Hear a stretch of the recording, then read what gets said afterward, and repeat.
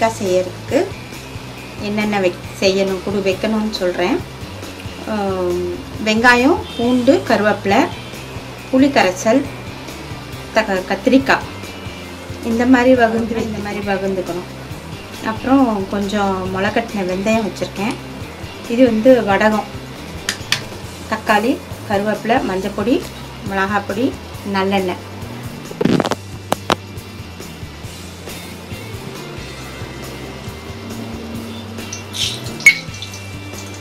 எண்ணெய் ஊற்றிக்கோங்க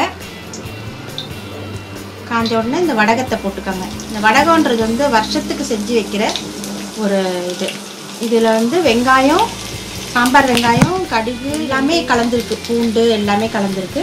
அதனால் இதுக்கு தாளிப்புன்னு சொல்லி வேறு எதுவும் போட வேண்டாம். இந்த வடகம் போட்டால் இந்த குழம்புக்கு ரொம்ப நல்லாயிருக்கும். வெங்காயம் பூண்டு கருவேப்பிலை.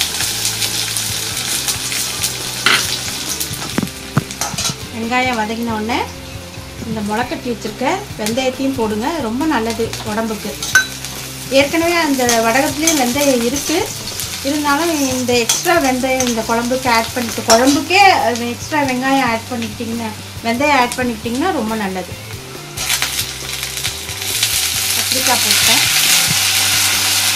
கத்திரிக்காய் நல்லா வதங்கணும். கலர் மாறினதுக்கப்புறமா நம்ம புளி ஊற்றிக்கலாம் தக்காளி பழமும் இது கூடயே போட்டுக்கணும். ரொம்ப சேர்ந்து வதங்க சரியா இருக்கும்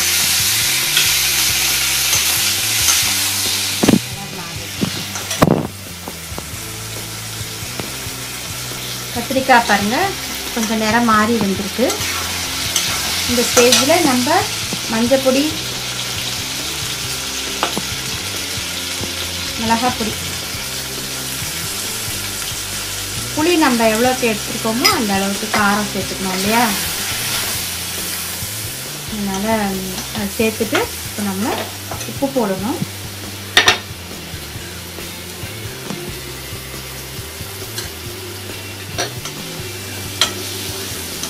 இதுக்கப்புறம் நம்ம புளி கரைசலை ஊற்றிடுவோம்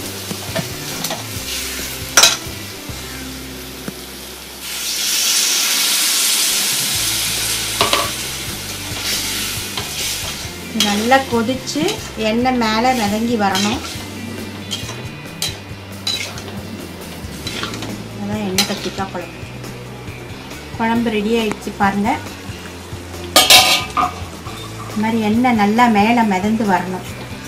அதுதான் இந்த கத் இந்த எண்ணெய் கத்திரிக்காய் குழம்போட ஸ்பெஷல் எதுவுமே குழம்புக்குன்னு சொன்னால் இந்த மாதிரி எண்ணெய் மேலே கசிஞ்சு வந்ததுன்னா ரொம்ப கரெக்டாக வந்திருக்கு. பதம்னு அர்த்தம்.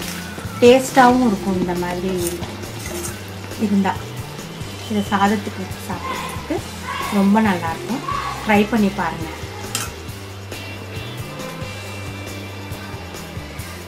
எண்ணெய் கத்திரிக்காய் குழம்பு ரெடி ஆயிடுச்சு. பாருங்கள் இது சாதத்துக்கு ஊற்றி சாப்பிட்றதுக்கு ரொம்ப கரெக்டாக நல்லாயிருக்கும். டேஸ்ட்டாக இருக்கும். இந்த வீடியோ உங்களுக்கு பிடிச்சிருந்ததுன்னா என்னோடய சேனலுக்கு சப்ஸ்கிரைப் பண்ணுங்கள் பெல் பட்டனை ப்ரெஸ் பண்ணுங்கள் ஷேர் பண்ணுங்கள் தேங்க்யூ